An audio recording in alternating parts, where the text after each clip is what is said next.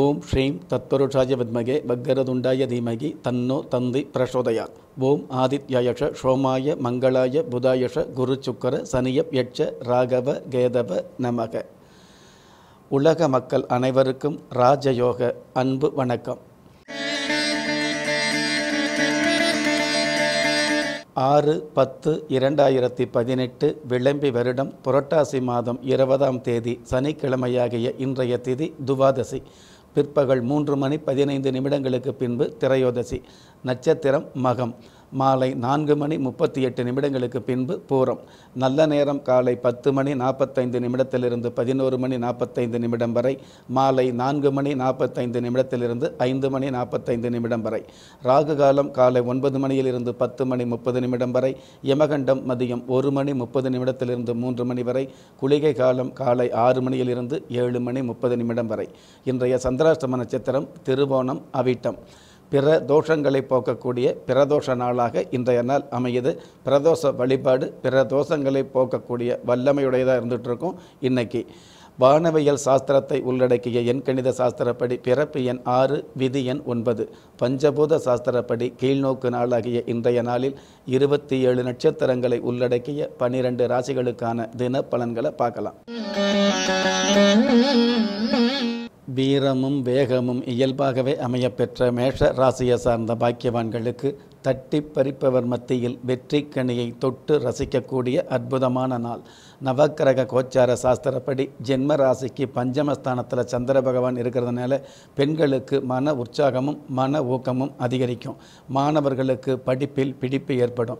கல்வித்துறையில் உள்ளவர்களுக்கு மேன்மையும். கடலில் மீன் பிடிப்பவர்களுக்கு மிகப்பெரிய வருமானமும் இன்றைய நாளுக்கு உண்டான சிறப்பு. அஸ்ட்ரோ பயோரித சாஸ்திரப்படி ஜென்ம ராசிக்கு ஆறாம் இடத்துல மாந்தி பகவான் இருக்கிறதால தானத்தை செய்கிறது நல்லது. ஆன்மீக சாஸ்திரப்படி இன்றைய வழிபாட்டு தெய்வம் பெங்காலியம்மன் அதிர்ஷ்ட எண் இரண்டு அனுகூலமான வர்ணம் பால் வெண்மை அதிர்ஷ்ட எழுத்துக்கள் ஜி வி.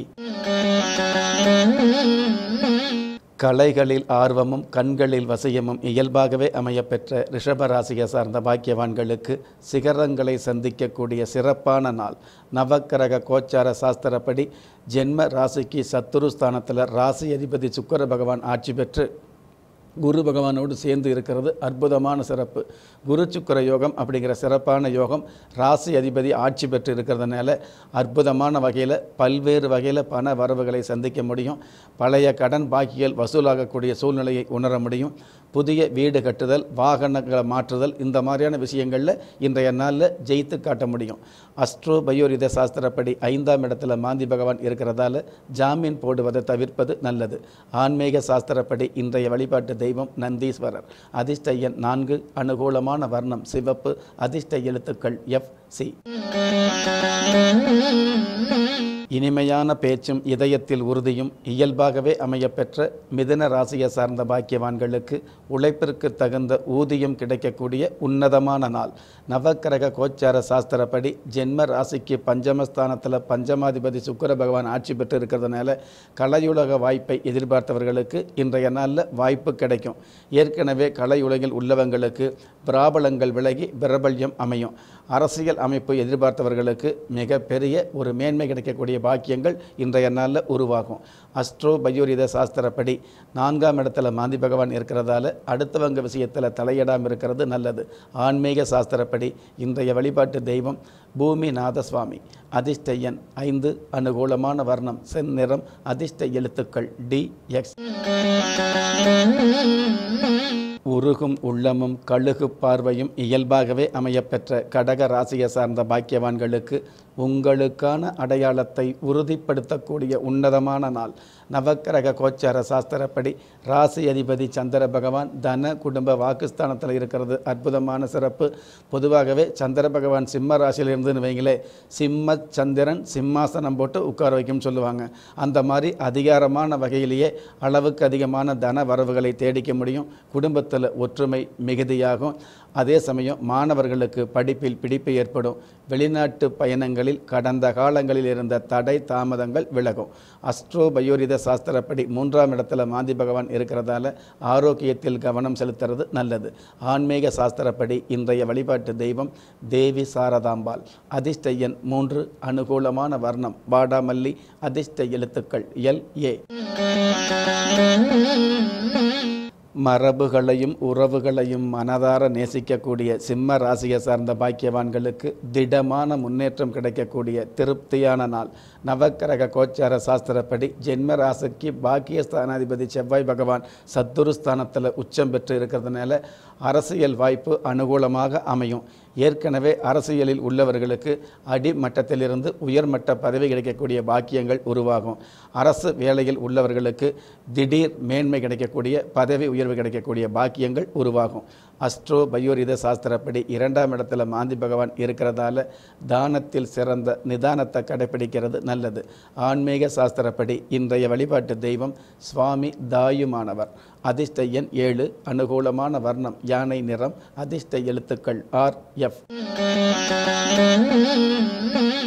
வசீகர முகமும் வார்த்தையில் இதமும் இயல்பாகவே அமையப்பெற்ற கன்னி ராசியை சார்ந்த பாக்கியவான்களுக்கு பண நெருக்கடி தீரக்கூடிய பக்குவமான நாள்.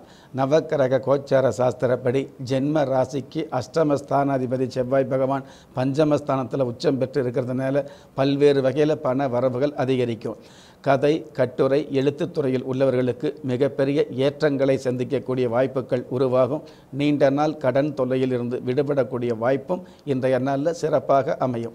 அஸ்ட்ரோ பயோரித சாஸ்திரப்படி ஜென்ம ராசியிலேயே மாந்தி பகவான் இருக்கிறதால பொறுப்புணர்ச்சியோடு செயல்படுவது நல்லது.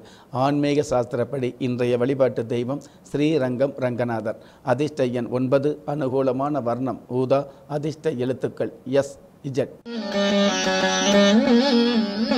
நேர்மையை நேசிக்கக்கூடிய துலாம் ராசியை சார்ந்த பாக்கியவான்களுக்கு உதவியும் பதவியும் கிடைக்கக்கூடிய உன்னதமான நாள்.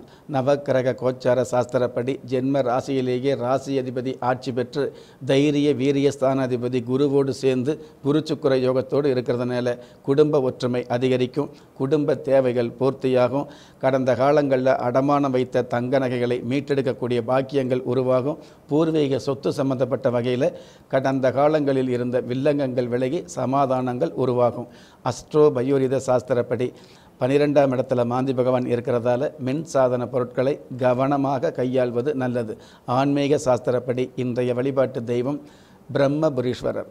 அதிர்ஷ்ட எண் ஒன்று அனுகூலமான வர்ணம் கருப்பு அதிர்ஷ்ட எழுத்துக்கள் டி எக்ஸ். பரபரப்பும் சுறுசுறுப்பும் பக்குவமாய் அமையப்பெற்ற விருச்சிக ராசியை சார்ந்த பாக்கியவான்களுக்கு அனைத்து எதிர்ப்புகளும் அடியோடு விலகக்கூடிய அற்புதமான நாள். நவக்கிரக கோச்சார சாஸ்திரப்படி ஜென்ம ராசிக்கு ஜீவனஸ்தானத்தில் சந்திர பகவான் இருக்கிறதுனால பெண்களுடைய கௌரவம் அதிகரிக்கும். பெண்களுடைய ஆலோசனையால் பிரிந்த குடும்பம் ஒன்று சேரும். உபஜெய லாபஸ்தானத்தில் லாபஸ்தானாதிபதி புதன் பகவான் உச்சம் பெற்று இருக்கிறதுனால எந்த ஒரு தொழிலாக இருந்தாலும் அதாவது தொழில்துறையை பொறுத்தளவுக்கு பாதையோரம் கீரை விற்கிறவங்களிலிருந்து பரபரப்பான மிகப்பெரிய அதாவது பங்கு சந்தையில் உள்ளவங்க வரைக்கும் மிகப்பெரிய லாபங்களை இன்றைய நாளில் சந்திக்க முடியும். அஸ்ட்ரோ பயோரித சாஸ்திரப்படி பதினொன்றாம் இடத்திலேயே மாந்தி பகவான் இருக்கிறதால முன்கோபத்தை தவிர்ப்பது நல்லது. ஆன்மீக சாஸ்திரப்படி இன்றைய வழிபாட்டு தெய்வம் பன்னாரியம்மன். அதிர்ஷ்ட எண் ஐந்து அனுகூலமான வர்ணம் காவி அதிர்ஷ்ட எழுத்துக்கள் பி ஒய். தன்னடக்கமும் தார்மீக எண்ணமும் தகுதியோடு அமையப்பெற்ற தனுசு ராசியை சார்ந்த பாக்கியவான்களுக்கு போதாத காலங்கள் விலகக்கூடிய மேலான நாள். நவக்கிரக கோச்சார சாஸ்திரப்படி ஜென்ம ராசி அதிபதி குரு பகவான் உபஜய லாபஸ்தானத்தில் இருக்கிறது. லாபஸ்தான அதிபதி சுக்கர பகவான் ஜென்ம ராசியிலேயே ஆட்சி பலம் பெற்றிருக்கிறது. இதுவெல்லாம் வந்து பார்த்திங்கன்னா அரசாங்க வகையில் அனுகூலங்களும் ஆதாயங்களும் மிகுதியாகும். அரசு வேலையை எதிர்பார்த்த பாக்கியவான்களுக்கு ஒரு சில பேருக்கு இன்றைய நாளில் வேலை வாய்ப்பு அமையும். ஏற்கனவே உத்தியோகத்தில் உள்ளவர்களுக்கு உங்களுடைய உள்ளம் விரும்பிய இடமாற்றமும் பணி உயர்வும் இன்றைய நாளில் அமையும். அஸ்ட்ரோ பயோரித சாஸ்திரப்படி பத்தாம் இடத்துல மாந்தி பகவான் இருக்கிறதால நெருப்பு விஷயத்தில் பொறுப்பாக செயல்படுவது நல்லது. ஆன்மீக சாஸ்திரப்படி இன்றைய வழிபாட்டு தெய்வம் பச்சைமல பாலமுருகர் அதிர்ஷ்ட எண் ஆறு அனுகூலமான வர்ணம் ஆழ்ந்த சிவப்பு அதிர்ஷ்ட எழுத்துக்கள் பி ஏ. ஊக்கமும் உற்சாகமும் இயல்பாகவே அமையப்பெற்ற மகர ராசியை சார்ந்த பாக்கியவான்களுக்கு கிருபைகளும் பெருமைகளும் சேரக்கூடிய அருமையான நாள். நவக்கிரக கோச்சார சாஸ்திரப்படி இன்றைய நாள் சந்திராஷ்டமம் இருந்தால் கூட பாக்கியஸ்தானத்தில் பாக்கியஸ்தானாதிபதி உச்சம் பெற்று அஷ்டமஸ்தானாதிபதி புதன் பகவானோடு சே அஷ்டமஸ்தானாதிபதி சூரிய பகவானோடு சேர்ந்து புத ஆதித்ய யோகத்தோடு இருக்கிறதுனால புத்தி கூர்மையோடு செயல்பட்டு புகழ் சம்பந்தப்பட்ட விஷயங்களையும் பணம் சம்பந்தப்பட்ட விஷயங்களையும் ஈர்த்துக்க முடியும். பயப்பட வேண்டாம்.